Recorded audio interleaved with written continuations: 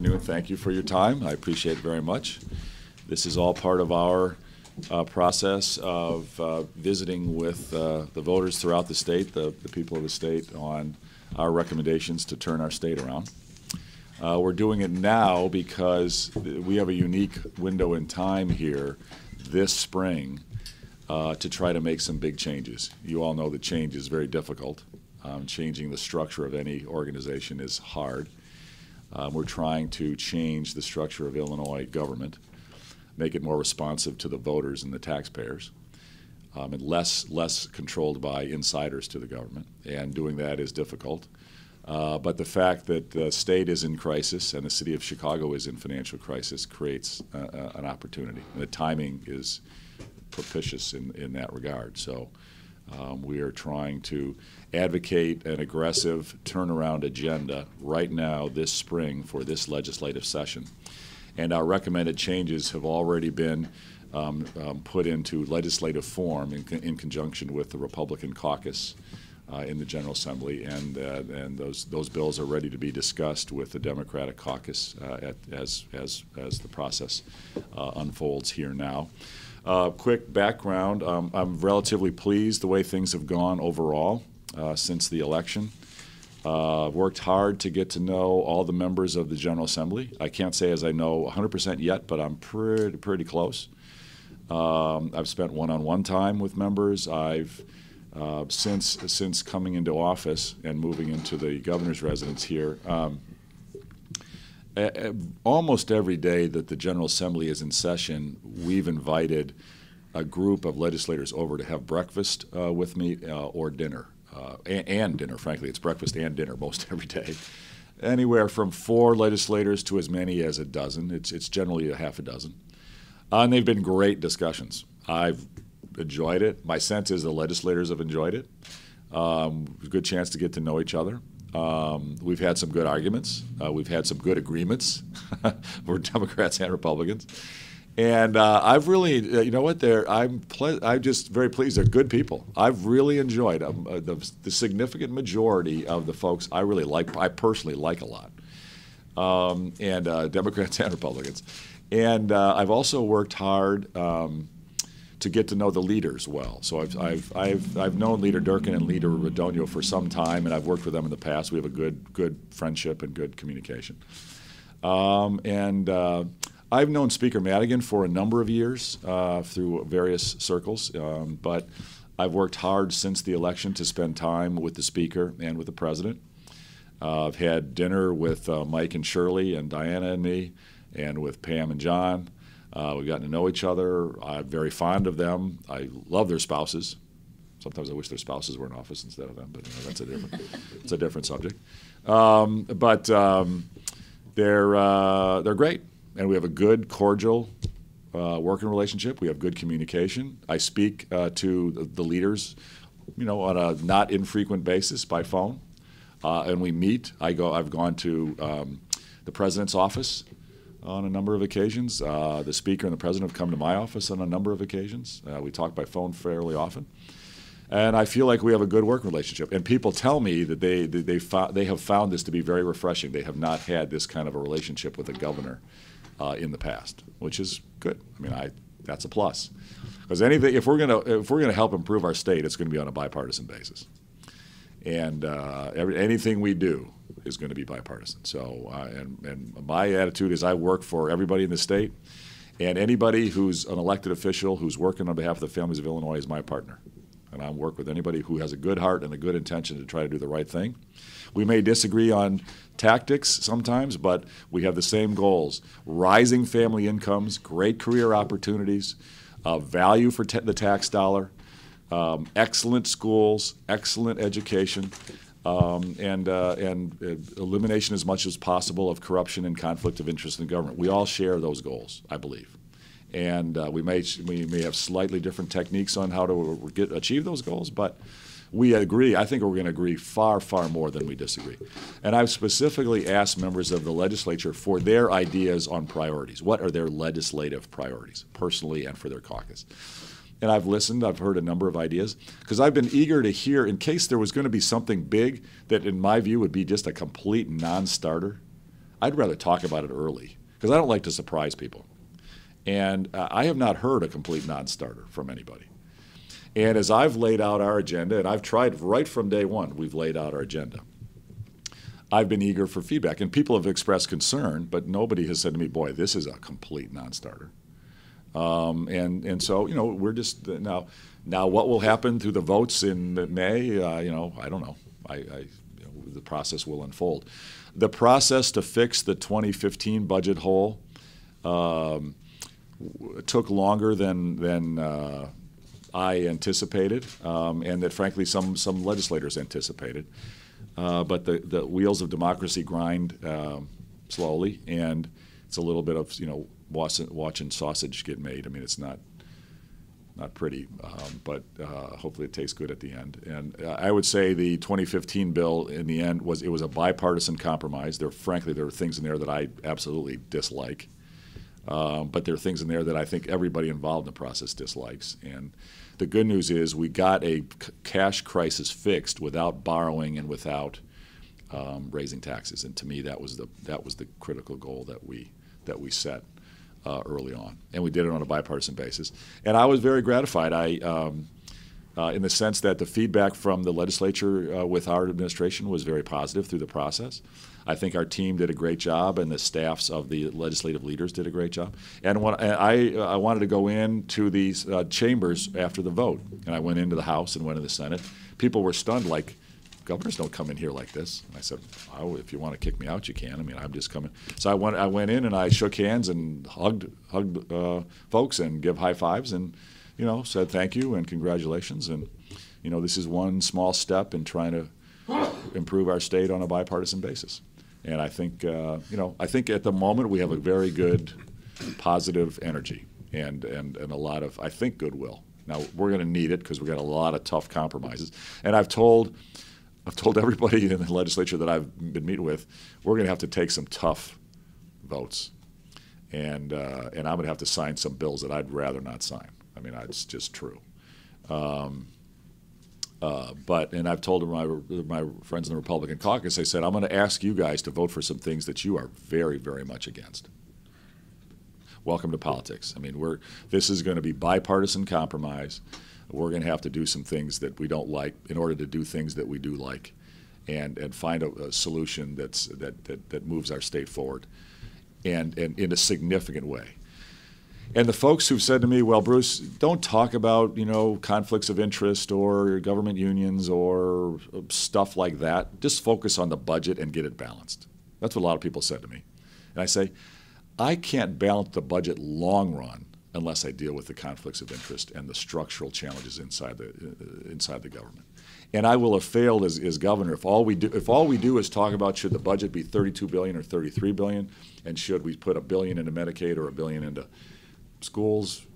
If that's all we talk about, we will have failed because that when I'm gone and we have another governor who's not financially disciplined as we've had, and the conflicts of interest and the power structure in the government stays in place, we will blow, we'll be blown apart again, just as, as we've been. And we've got to, we've got to take the long, the right solutions for the long term, and that means structural reform and taking the power away from the insiders in the government and giving it to the taxpayers and the voters. That's at the core of our agenda. That's what restoring the balance of power between the insiders in the government and the taxpayers and the voters. And people have said to me, well, Bruce, you know what? What we really need to do, some people have said, what we really need to do is just raise the income tax, get a, actually get a graduated income tax so that wealthier people are paying more and things will be fine. We'll have the money, um, it, it's more fair, and things will be fine. And I say, no, I, I, I, I beg to disagree with you. I, things will not be fine. And you can look at a number of other states where things are not fine fiscally. And you can look at California, one of the wealthiest you know, governments in the world, and they have they can't barely fund their pensions, and they've constantly got debts, and debt, and deficits, and and and, and loss of, of, of, jobs that would otherwise be there. And uh, look at Connecticut, look at New Jersey, look at New York, where the insiders in the government are dominant and powerful. Constant unfunded pension liabilities, debt deficits, and fiscal uh, problems. And I like to, to point out New Jersey. You know, I have many friends there. Um, but uh, and, and, they've struggled. They've struggled. New Jersey's a lot like Illinois. New Jersey's a lot similar population size, Similar, relatively wealthy state, losing their wealth because of mismanagement, but they've been relatively wealthy state. Uh, similar, excellent strategic location within the United States. Strategically, Illinois has got a great location. Really, should we should be thriving if we were managed better. New Jersey should be thriving. They they have a great location. New Jersey's just like us, dominant government unions, dominant um, insider control, significant corruption, um, just like us. And, and just like us, they have extremely high property taxes. Us in New Jersey, we in New Jersey basically have the highest property taxes in America by quite a bit. Um, and they're like us, they have a very high sales tax. And they've done what people are telling me to do. They've put in a graduated income tax, a high graduated income tax. And you know what? They can't pay their pensions. They are not funding their pensions, and they got some of the highest taxes in America. They haven't dealt with the structural problem and the conflicts of interest in, with inside the government. And that's why, as I travel the state, and you'll see in this in the in the in the binder that we gave you, uh, I, I, I, t- I put two quotes. I could find 50 good quotes of, of leaders, mostly dem- de- uh, Democrats, who point out the challenges when when the insiders in the government are all powerful. And I've got quotes. I quote Fra- um, Franklin Roosevelt, and I, and I quote. Um, uh, Michael Bloomberg from New York. If you read the excerpts of Michael Bloomberg's speech that we've included there for you, if you read that speech, and you take out the words New York City and put in the words City of Chicago, you summarized our problem. You take out the words City of New York and put in the words State of Illinois, you've summarized our problem. And if you read what Franklin Roosevelt wrote, I think he was probably the most pro union president in American history, but if you read what he wrote about government collective bargaining, you see the challenge that, that we face. And look at, you know, some people in the media have said, uh, or in some of my political opponents who said, "Oh, Bruce is a radical right-wing extremist. He's just he's out he's unreasonable and outrageous." And I beg to differ. I say, "No, I'm a pragmatic centrist is what I am." 29 states 29 states do not allow fair share collective uh, um, uh, union dues collection in the government. This is not a radical outlier. Illinois' policy is a radical outlier. My, my recommendations are not. And look at what the federal government does. The federal government is not a bastion of conservatism. Look at what the federal government does around collective bargaining inside the, the federal government, and you can see. And um, the, the latest round of federal government labor um, contract um, collective bargaining rules were put in place by Democrats, a Democratic president in 1978 and a Democratic Congress. This is not a partisan issue. This is, this is a good government issue and a balance of power issue. If, the, if insiders are powerful with taxpayer money, they can control the elected officials, and there's no pushback. There's no, there's no there there on the other side, and the spending and the liabilities just balloon out of control. And you can see it everywhere that it, everywhere that that power structure has stayed in place. You can look around in, in, the, in, the, in the cities and in the states where that has that structure has stayed in place. That's why I need to take that on now as part of balancing our budget and getting fiscal um, reform to the state. And I agree very much with many of my Democratic colleagues in the legislature. I'd like to put more money into social services. I believe in a strong social services safety net. We should put money into helping our veterans who are struggling to get reestablished in their lives. We should put money into helping our developmentally disabled uh, residents. We should put money into helping our low income kids get early childhood education and be, assisted with their uh, uh, uh, lives. We should help our elderly citizens living in poverty and who need support. We, we should have one of the best social services programs in the nation. If we get the money out of the government, bureaucracy, and we get a strong pro growth, pro job creation economy, we will have the money to put into our social services. And frankly, we'll probably need to put mon- less money into the social services because more people will have good careers and will have the support to be able to support themselves. But, but we can do both. It's very hard for any organization to survive well if it's hostile to, to, to uh, job creators and economic growth, which Illinois has been and uh, have a big spending on social services and big spending on government bureaucracy. That's a trifecta that is Illinois' current situation, and it's very hard to overcome. I mean, it, it, that's not a recipe for success. It's, it's, it's not. We need to become more pro-growth. That's what our agenda is about, pro-job creation. Um, and we need to shrink the government bureaucracy and put the money into the economy for growth and into our social services. And that's what our, our agenda is about. And I've told members of the General Assembly, anything's on the table for me. I'll talk about anything. But what we got to talk about is this.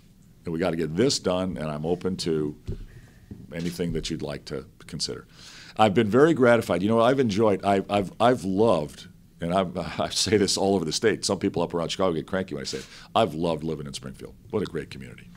I love people here are awesome. You know what? One of the most emotional times of the last two and a half years, and going into public service for the first time in my life, and the first member of my family ever to go anywhere near this. The rest of my family is like, Brucey, you are doing what? The, you know, the most emotional time, uh, one of the most emotional times, here in Springfield, two teachers came up to me at an event uh, after I became governor and one of them started to cry. And I said, I, I gave her a hug and I said, "What's wrong?" And she said, "You are healing a wound in this community that you just can't, uh, you you don't fully appreciate."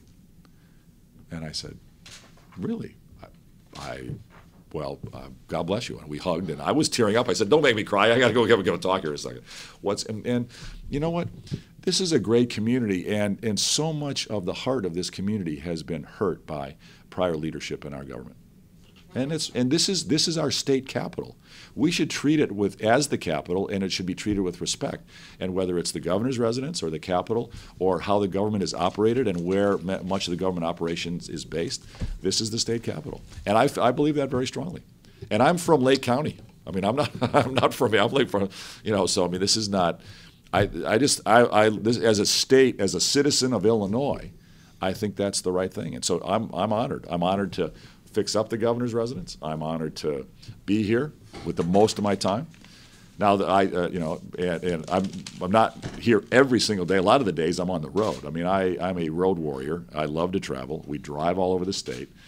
I, I put 100 and, I don't even know, 170,000 miles driving the state during the campaign. And now, like today, we drove Quincy, Beardstown, Peoria, and back.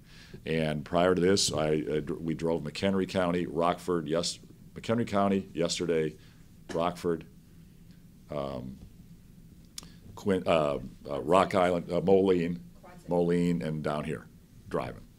And I get a lot of phone work done, a lot of reading done uh, while we're driving, and we just go everywhere in the state. And I love it.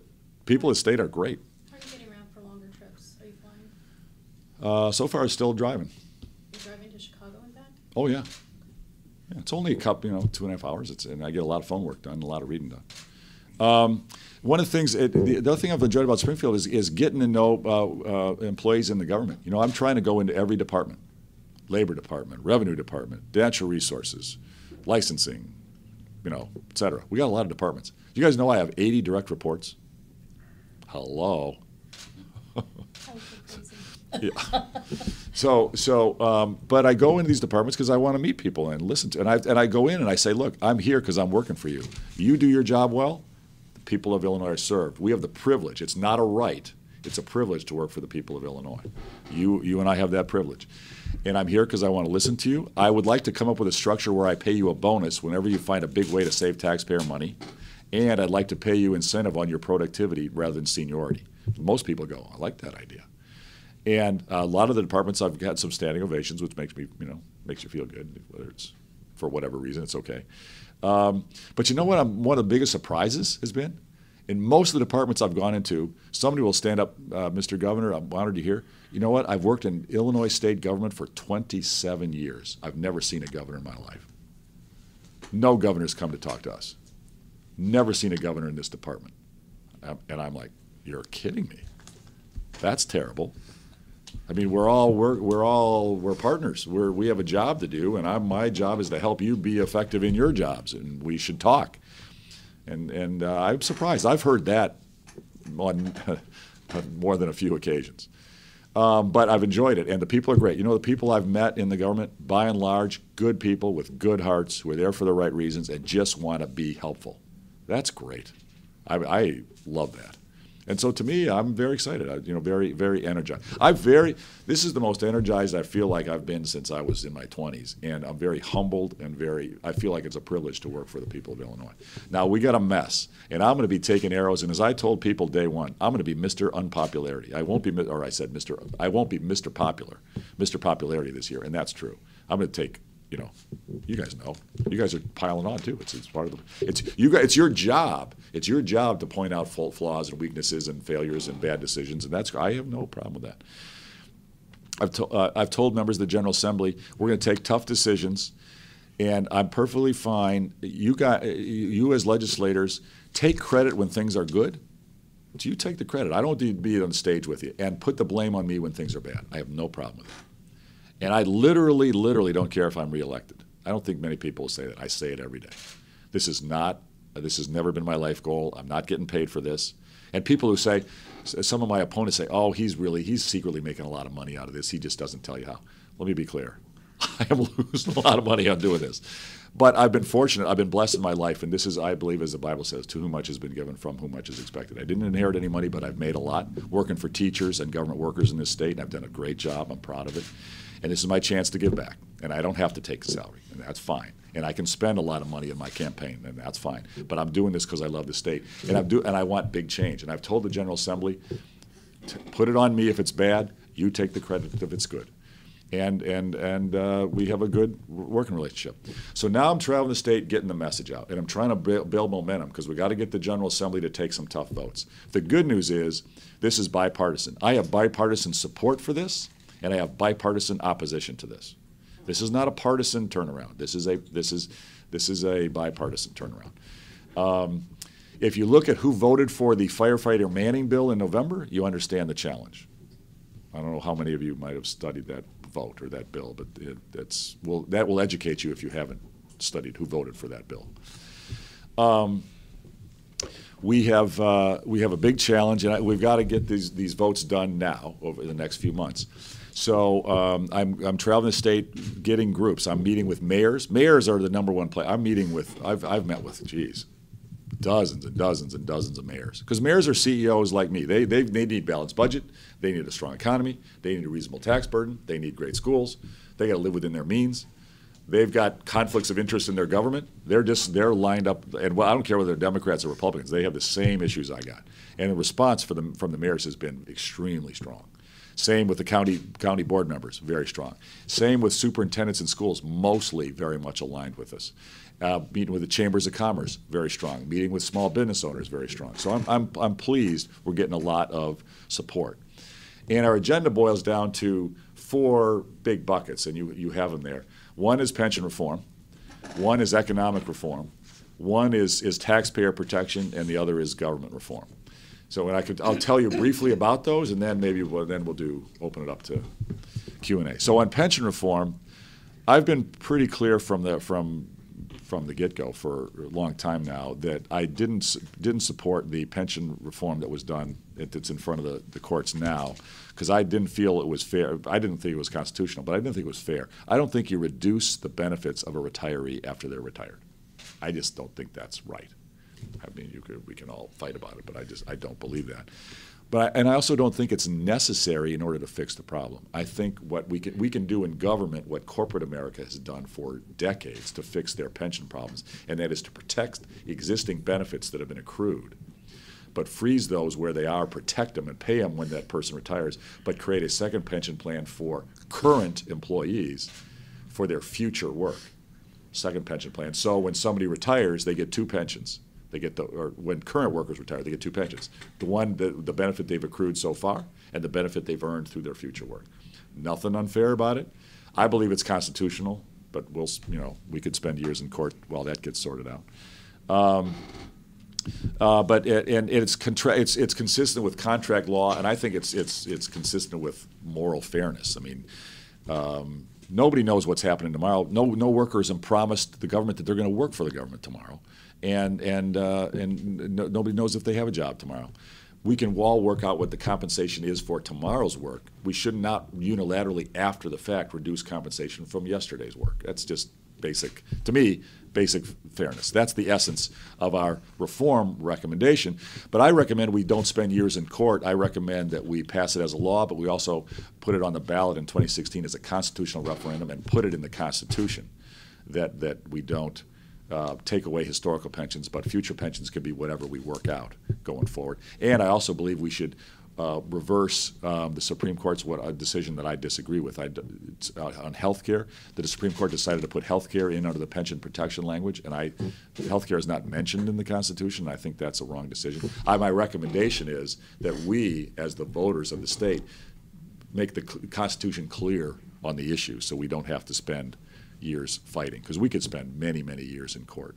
Even, even whatever, um, even if the Supreme Court approved my understanding from the lawyers is even if the Supreme Court approved the pension bill in, on May 22nd, when their opinion is, I think, supposed to come down, I think even then we'll spend years fighting in the courts over that pension bill. And I, I, we don't have the time. I don't think it's fair to the workers, and I don't think it's fair to the taxpayers to keep all this time in court. But that's one bucket. The other bucket is, is economic growth. Workers' comp, change, real reform, not, not the small one that was done before.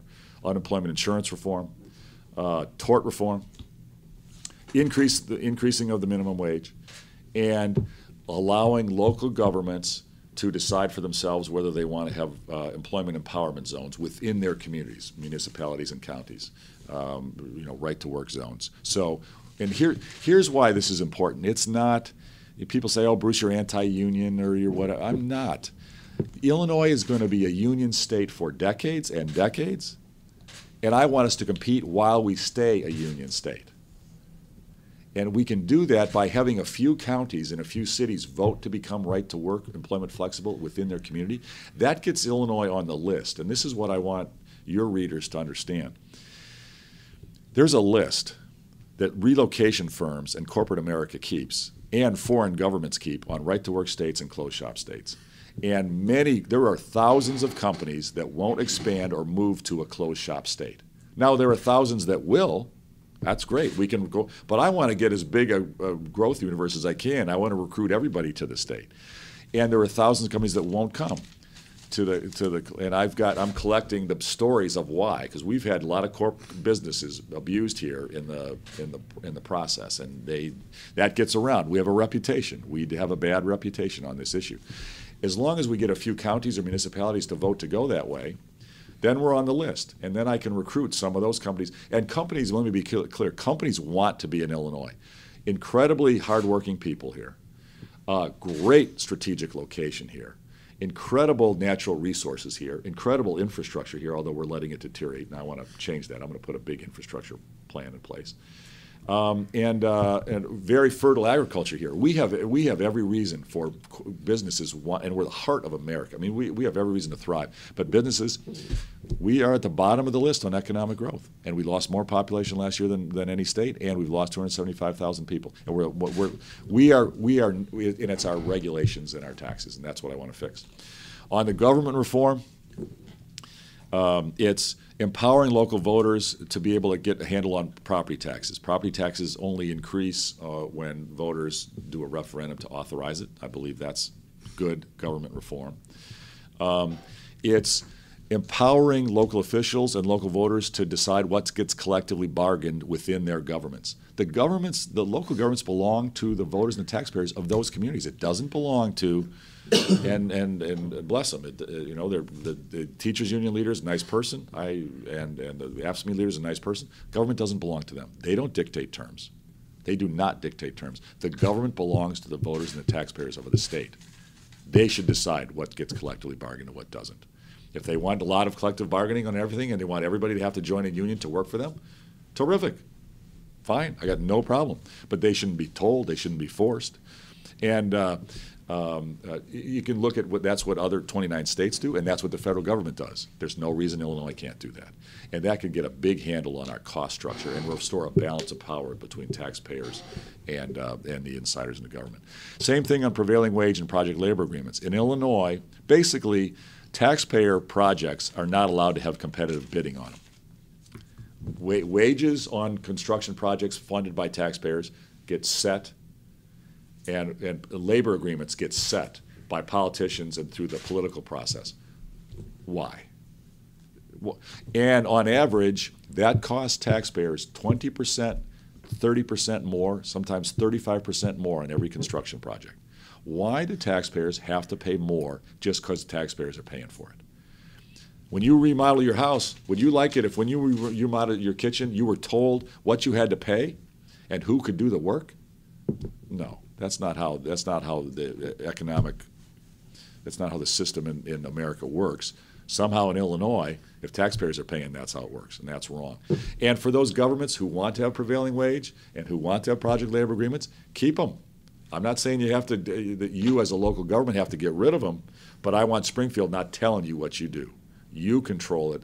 Think how many more, if, and if we're going to spend, I'd like us to spend tens of billions of dollars on our infrastructure in the coming years. Think how many more schools we could build, classrooms we could upgrade if they cost 25% less. How many more roads could we build and upgrade if they cost 25% less?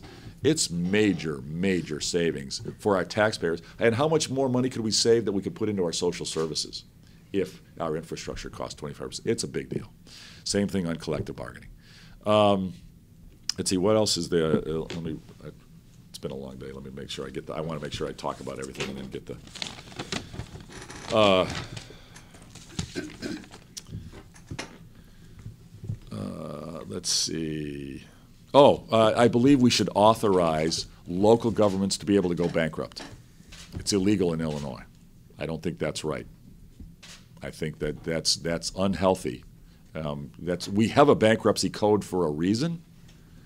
Governments should be allowed to use it just like uh, business organizations are allowed to use it. It's, it exists for a reason, and it should exist for uh, governments in Illinois. That's part of our reform package. Um, and then the transforming government part, stu- I'm going to stay persistent on term limits. I, I believe the term limits are a good thing. Um, the legislature has is recommended to us that we have 10 year limit, not eight. I'm fine with that. Um, I, I do believe we should merge the, uh, the comptroller and treasurer offices. I've said that all the way through. Um, uh, again, I, I don't believe we should force, uh, we should not force a fair share union dues collection in the government. I've said that, and uh, most states don't allow it, and uh, I'm going to push that as law, not just executive order. I'm pretty confident, I'm highly confident that we'll win the lawsuit uh, that we've got going on about unfair share collection. We'll get it to the Supreme Court eventually, and I, I'm pretty sure we'll win. Um, and then I do want to close the special interest loophole. Uh, we've closed the special interest loophole for corporations and individuals who do business with the state. It's illegal in Illinois if you're a business or an individual and you contract with the state, you can't give campaign contributions to elected state officials. That's the law today in Illinois for businesses and individuals. However, we've left it legal for law firms that argue cases in front of judges to give campaign contributions to elect those judges. I think that's a significant problem. It's a conflict of interest. We also have left it legal for government union leaders who contract, who 100% of what they do is contract with the state. Uh, it's, it's perfectly legal for them to give significant campaign contributions to the elected officials that they negotiate contracts with. That's a very major, very fundamental conflict of interest, and I think we should outlaw that. And many other states have outlawed that.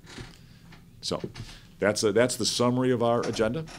Uh, it's going to be a rough and tumble legislative process over the next uh, few months. The good news is there are strong Democrats in the state who are leaders who want reform, and there are strong Republicans in the state who want reform, and there's going to be support for the legislators who help, help this sort of reform agenda.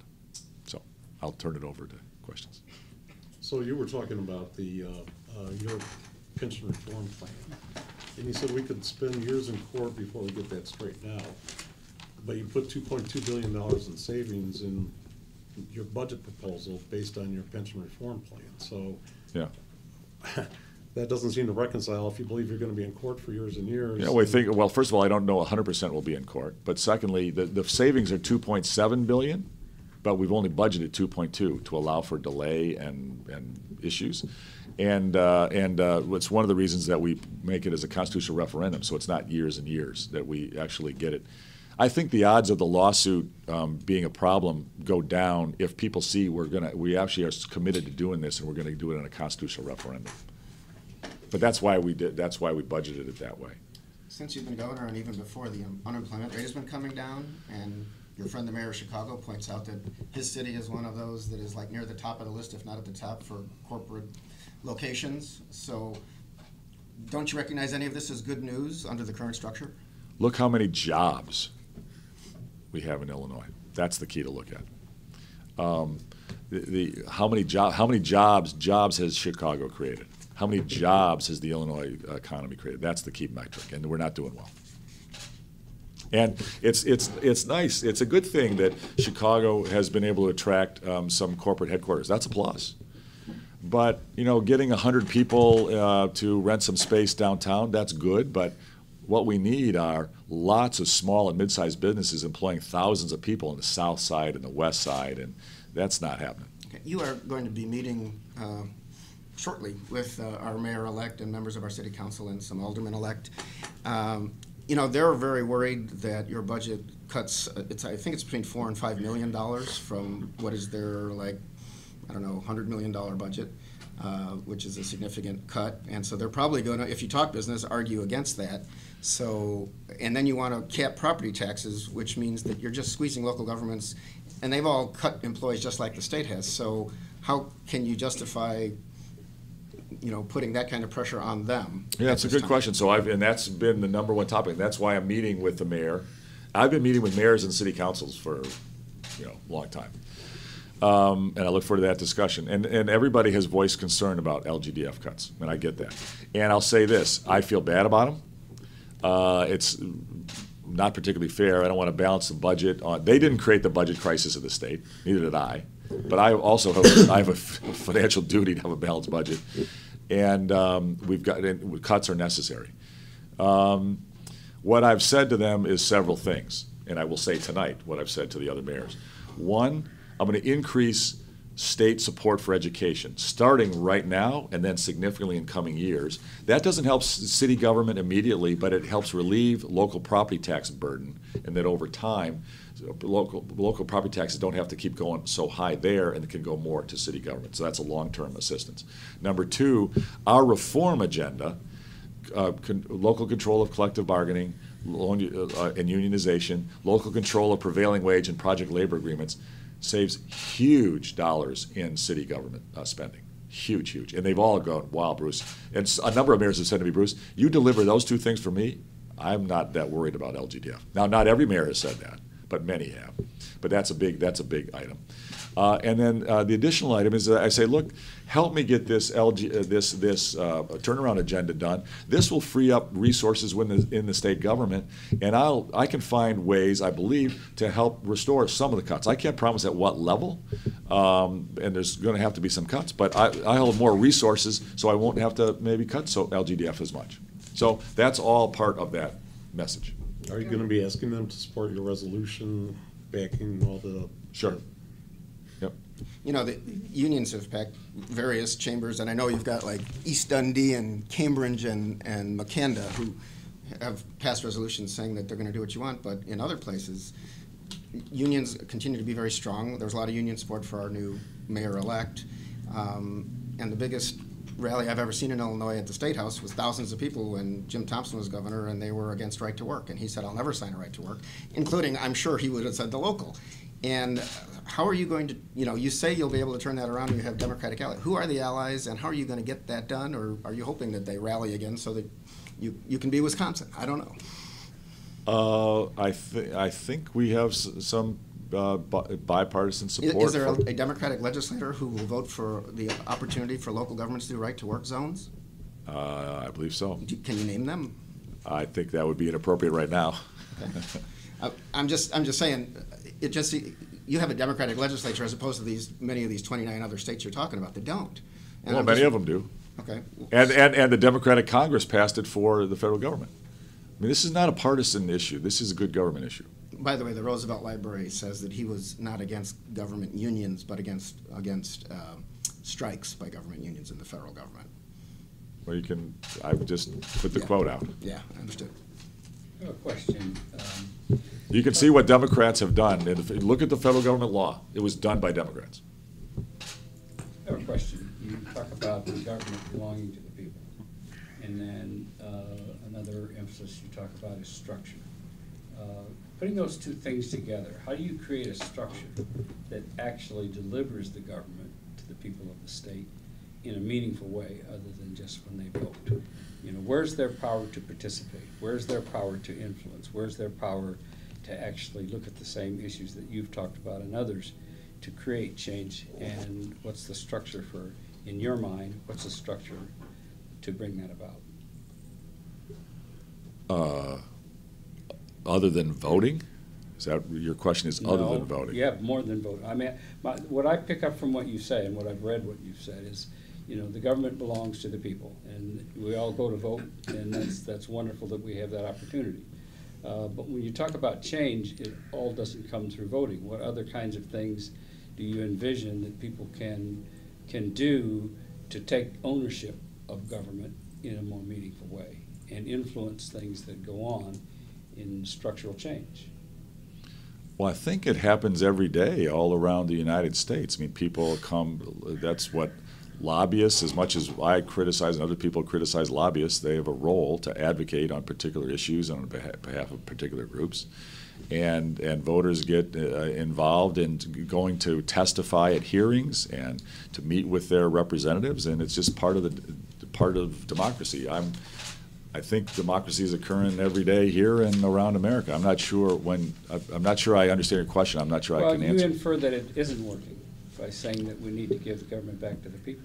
Well, so it, it, here, here's, here's the challenge. If a, if a group that makes its money from the government is concentrated in its power and has strong influence over the elected officials that determine how much money they make from the government, that, that, then that government is not working for the, the, the voters and the taxpayers, it's not working for the people, it's working for the elected official and that power group that's making money from that elected official's decision. That's, that's the, that's the issue that I'm most concerned about, and that's, that's a big problem in Illinois. Is that limited to public unions though? No, no, it's not. Crain's reported, oh, I'm sorry, go ahead. Well, uh, I I mean, so businesses obviously also uh, Right, and so that's why, so, so we've started the process. We've made it illegal. If you contract with the state, no campaign contributions. We've started. There's more. I think we could restrict more of, of business um, uh, in the process. That's, I, I'm good with that. Where, the, the, when you look at where our money's going, um, with our pensions and our work rules and our pay scale in, the- in the government, you can see where the power, concentrated power with the elected officials, where that's led us. And it's a, it's a bad, it's a bad place.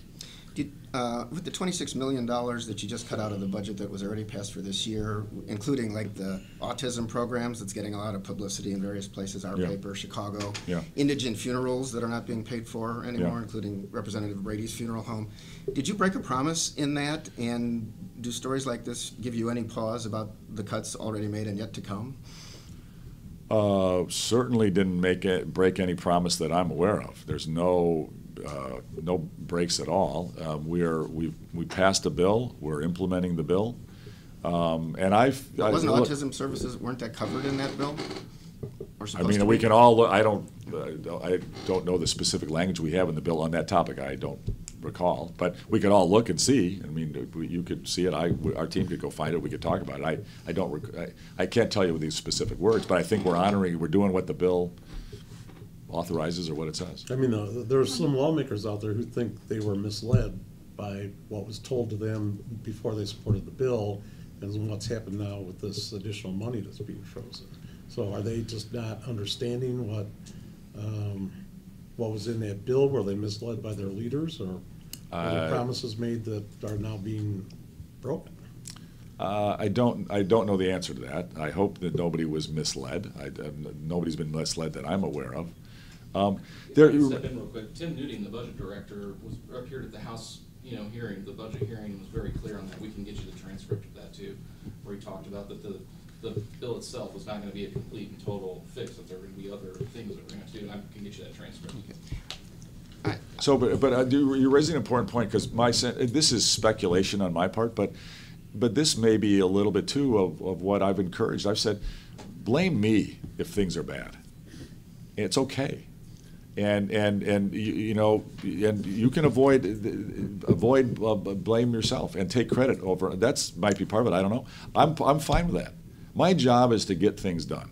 And, and I'm gonna try to do everything within my heart that's right and to get results. Are you suggesting this is a case of you, them shifting blame to you?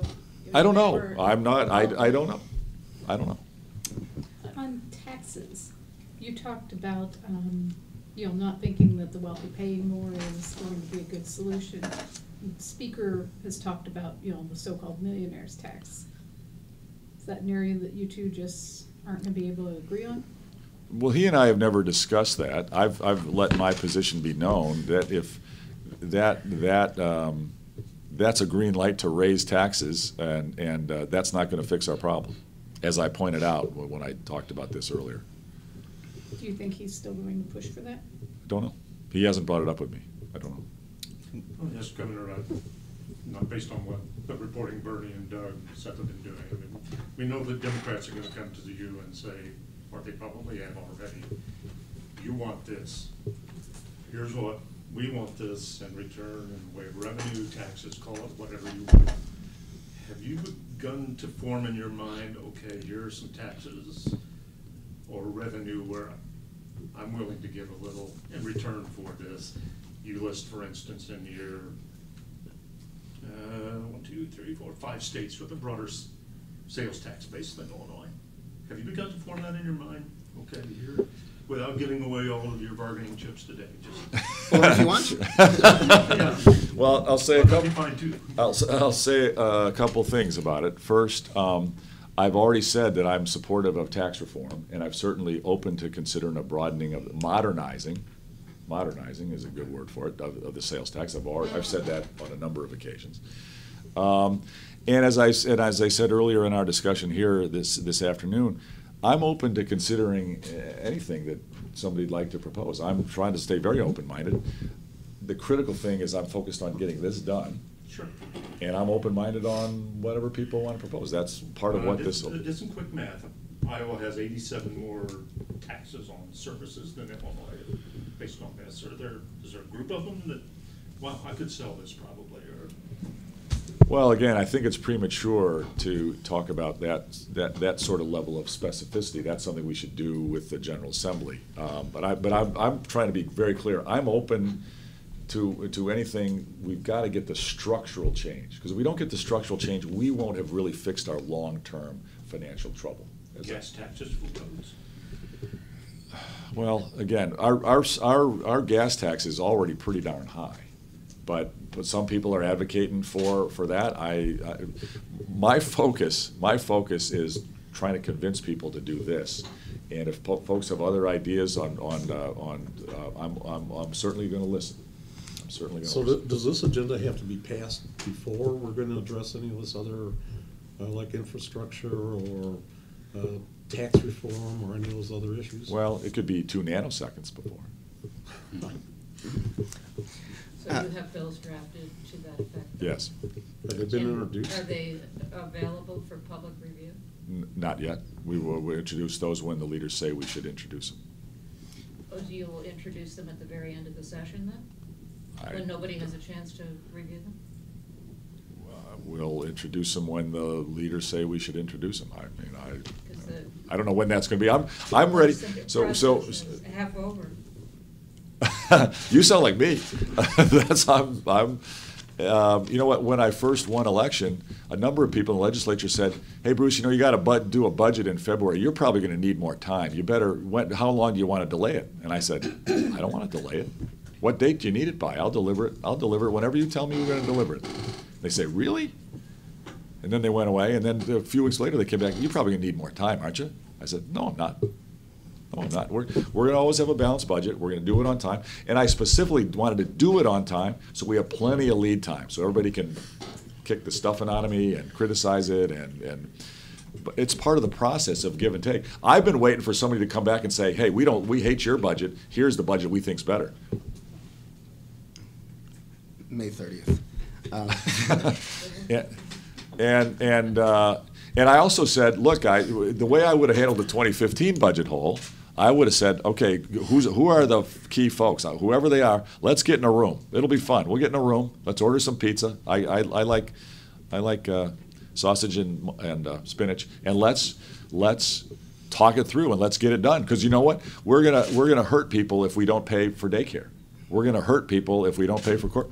It, well, it doesn't really work that way. I mean, the, you know, they kind of, it's a, it's a process. I don't control it. I've tried to learn. I'm a pretty good student. I've been studying how the, each of the caucus leaders work their caucuses. It's a fascinating study in human dynamics. I mean, it's a, the, the level of communication, very different among the four. Uh, the level of control, very different among the four. Um, and you know, I'm trying to. I in my role, I'm trying to. I, I'm trying to be a governor uh, who's effective in working with everybody. I'm, I'm trying to be a good partner. On, on that question of your style, which is laid back today, which is fun and in- inter- interesting, but as you have done these editorial boards around the state, the news that has come out is you said that about Indiana, you're one of the baddest enemies anybody can have. The Supreme Court, you said, is part of the corrupt bargain, and, and the judges, because of lawyers, can donate to them. You've said stuff about New Jersey that made Chris Christie sit up and take notice, even though he was here like eight times to help you in the campaign. And you're going to rip the guts out of Indiana as you. Do you trash talk too much? And or, or what is what is the style there? What, what what's what, what's sometimes, sometimes I'm probably I'm a human being, you know, and sometimes I don't choose my words as, as uh, perfectly as I might. But I'm, you know, I'm a human being. I'm a very passionate person, and I'm fighting for the people of Illinois. A lot of people really thought that maybe you hurt some case you want to have in front of the Supreme Court by saying these things about the Supreme Court this week. Do you think that? Uh, uh, I no, I don't. And and the Supreme, I'm not. I don't pick a fight. I'm not criticizing any particular court or any particular judge. And and frankly, I know a couple of the Supreme Court judges personally. I think they're awesome. I have no. It's the system. It's the system that is has conflicts of interest built into it. And I've talked about various parts of the system. And I'm open, as I've said to other folks. If you disagree with me, if you think there's not a conflict, tell me. I mean, I'm nobody's nobody's disagreed with me. If you disagree and you think the way that we fund our judges in their elections is fine, I, okay, you should tell tell me. Nobody said that to me, and I've pointed out I've stick my neck out because that's my job. I'm stick my neck out to try to make the government work for the people of Illinois. That's all I care about. I think the way that our judges are elected is a problem. I do, it's, and people can disagree if they want. I, Do you- nobody. Do you think it would be the sol- solving that problem for you to appoint them? Not necessarily. No, but I, and what I've, what I have recommended uh, to, uh, actually another editorial board that asked the question, I said, let's study what other states do and think about it ourselves. Maybe we can come up with a better way. I don't have a specific recommendation yet. Are you for merit selection then? That's one option I, I would like us to talk about. I think there's pros and cons to that. I think various states have done things in various ways. I think we, I, I'm a big co- comparative uh, data benchmarking person. I think we should study what other states do and see what might work better, what, what the options are. You just signed some uh, money that will go from the EDGE program to support economic growth in the state. Are Hmm. you familiar with that? Yes. Do you have some performance measures to tell us how effective those programs are? Those are being developed. Before the, will We- they be developed before the money is given out, or? Well, see, those are, those, those edge credits were uh, negotiated during the Quinn administration. Some businesses had some understandings of timing and circumstances, and we had a risk of credibility as a state government, um, and, a- and an issue of credibility with the business community uh, on some of these issues, and so we're dealing with them. Same thing happened on the medical marijuana licenses. I wouldn't have done that bill the way it was done. But you know what? I enforce the law, and we, we have a, I have a duty to have it done properly. We try to do it properly. Quinn set it up and ran away from it. I've, I've, my job, I've just got to deal the cards I'm dealt to do the best I can. But you will have performance measures that we can Yes. look at, and I do you have any idea when they might be ready? Oh, boy, I'd like them yesterday. I mean, uh, this is, this is a big problem uh, for the state. We are not economically competitive, and we haven't been strategic in our business recruiting efforts, and I really want to change that. And that's where I inartfully said I'm going after Indiana. I am going after Indiana, and I'm going after Wisconsin, and I'm going after Iowa, and Missouri, and Kentucky, and China, and Germany, and the UK. And I'm working for the people of Illinois, and I'm a heck of a great partner. And I'm going to be, I'm going to grow the heck out of our economy because I want incomes rising for our families, and I want lots of careers. And what I inartfully say, I'm a bit, you know, That's because I'm competitive, and I'm working for the people of Illinois, and I'm very passionate about it. That's, that's what that Who is. is developing those measures for you? Which department or how's that? Well, we've got a new CEO of uh, uh, DCEO named Jim Schultz. Uh, He's assembling a team, and we've also got members of the business community advising him. And we're going to look at possibility of completely revamping and restructuring DCEO and, and the incentive programs, and we're trying to think outside the box, and we're trying to study what other states who are succeeding on their economic development, what they're doing and how they're doing it, and try to dramatically improve our, our process. Two minutes. Uh, where are you on the repairs of the mansion, since we're here? Uh, Yeah, that's, that's a good question. Um, uh, uh, Diana and the, the board have been meeting. I think they've been talking to architectural firms and contractor firms. Um, uh, boy, it couldn't happen soon enough for me, but I, I'm really not too involved in the detail of the process. Um, I think we're gonna start with the roof major, it's, there's some pretty major structural things that really need to be fixed, and it's many millions of dollars. Um, I hope, Diana thinks that we're gonna have to move out for a while because of all the stuff that we gotta do in the dust, and I think there's some asbestos issues and whatnot, so I, I- you know, I don't know. I mean, the, the sooner it happens, the better, but it's, it's going pretty slow, and I actually, for me, it's fine. I mean, I, I, it's perfectly fine, but, but it, it really does need, it needs work. And, and I'm just worried that the structure itself will begin to really de- badly deteriorate if we don't take some pretty major. What about the funding? Are you seeking private donations? How Yes, you plan? private, yeah. Former Congressman Aaron Schock's former chief of staff was convinced you funded ads against him a year ago, which perhaps precipitated. Did you do any of that? And any thoughts on Schock and the uh, replacement? No, as I said before, I absolutely did not. Thoughts on, I'm sorry, what was your Oh, saying? just Schock's downfall and, and, you know, what? Well, I think it's a tragedy. I think it's a very sad, as I said, it's a very, uh, just the whole situation. Are you backing uh, Senator LaHood, or do you have a hor- a I've encouraged Darren to run. I like Darren, I know him well. Uh, I think he'd be a great congressman. I've encouraged him. Okay, and can you say anything, uh, there's just a big looming story, universities facing thirty-one percent cuts. I think you said here during the primary race when you visited that uh, teacher tenure at colleges may be something that you'd question. You think you will carry through with thirty-one percent cuts to universities? Because obviously you're hearing reports of the devastation that will cause on the various campuses. Well, with, again, without reform, um, we're going to have to make painful cuts. Uh, With reform, I think we'll free up resources, and again, I'm open to all kinds of considerations, and we'll talk about it, but we've got to get the reform. One of my most, uh, I I am very committed to uh, high-quality education from birth to, through age 40. And I want great universities, state universities. Our, univer- our tuition's too high, our enrollment's too low, um, our quality is mixed. And, and one of the most troubling things that I've got to somehow get, get us to get a handle on is the overhead cost, the bureaucracy cost in our universities is stunningly high. Yeah, there was just a recent article in the New York Times Sunday that spoke to the growth in the cost of education in, in public colleges and universities. Yes. And it's, it's not necessarily factors, uh, you know, faculty salaries.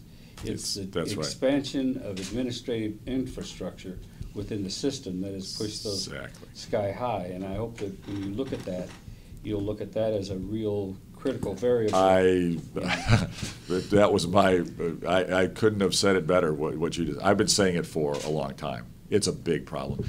My personal goal is to get the money, and more money, into the classroom with the teachers, the professors, and the students, not in the bureaucracy. And, and our university system is a microcosm of our state government.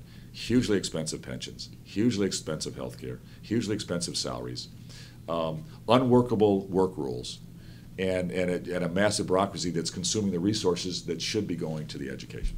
All right, thank you guys. Thank you very much.